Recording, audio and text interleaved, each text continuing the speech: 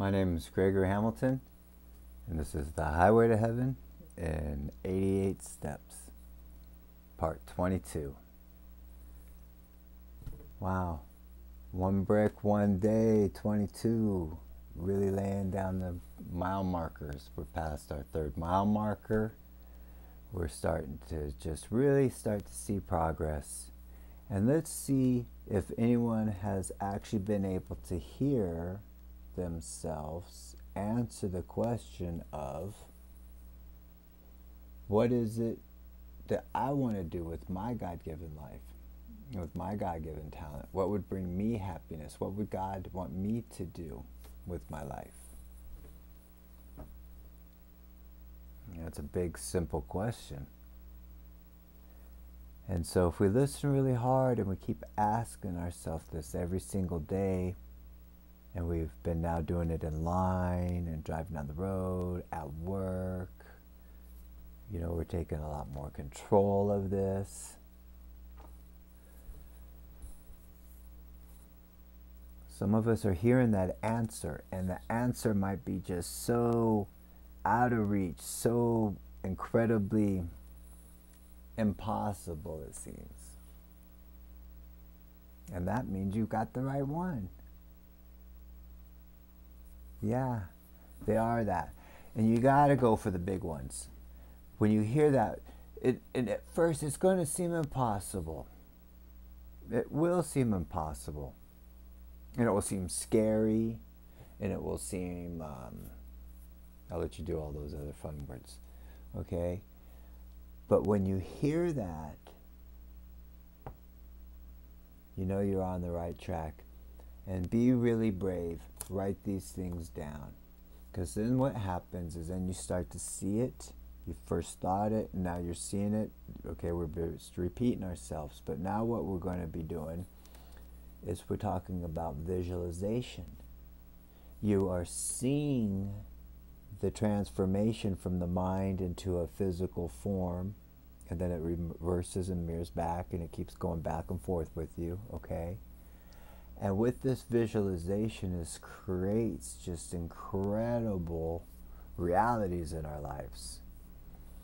We know through all kinds of different studies, let's just say, you know, science, that when a professional athlete does creative visualization in their head and they do the same play, let's say, or the same maneuver, or you know, a race car driver, they just, you know, they think about the track all the time. They don't always have to be riding, driving the track, right? They'll think in their minds and go around the corner and a corner and a corner.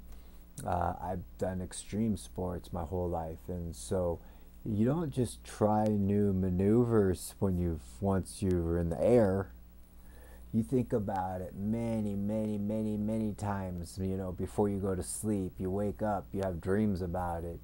You think about it while you're going there, and you become, oh, let's say, obsessed by the thought process of what you're trying to do and you're creating a muscle memory from your mind in your in your visualization.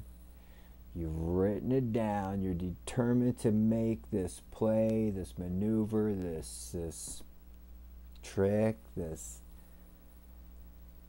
and of course we could apply this in any other kind of field, our, our studies, our finances, our relationships, anything, of course. But what I'm saying is that, that when you visualize and you stop and think,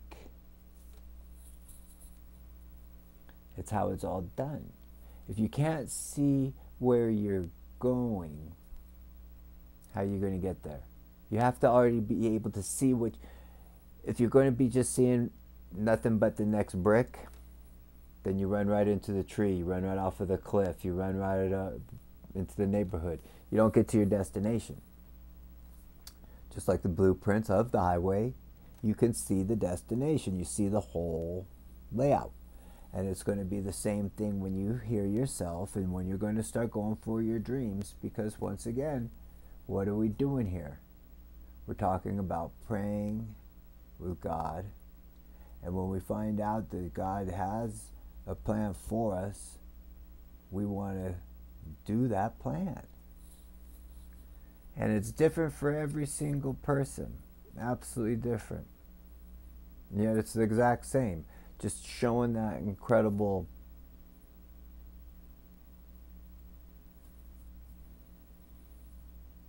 you to you. Yeah, does that kind of make sense? So, real important to be able to, you know, visualize what you want to do because then you'll be brave enough to ride it. And then once that happens, then you're going to go out and achieve and find that goal. Let's say it's something difficult, which would be hard for anybody, of moving to a new location because of your career was is in that area or families there or you want to go there for you know you know just weather wise but you know no one there okay? So it's hard and scary to even think that that's possible. But once you start to write it down You'll see that you'll see books and magazines when you go places that have that destination and they're free or whatever. You buy it or you start studying, reading up on it, and then your friends start talking about how they've got a friend that they, you know how it works.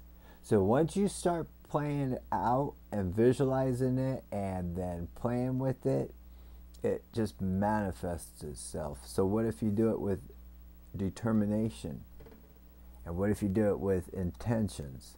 And what if you're doing it because you believe that this is what you think that this is what you're supposed to be doing? Okay? So, what kind of deadlines do we need to put on ourselves?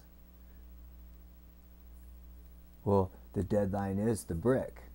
By just doing this daily and daily and daily, it will manifest itself and it will drop into your lap out of nowhere. And it will seem like what we were talking about yesterday. All your friends will sit there and go, Oh, you got so lucky. And you'll be giggling, going, Yeah, I'm just a lucky one. Right?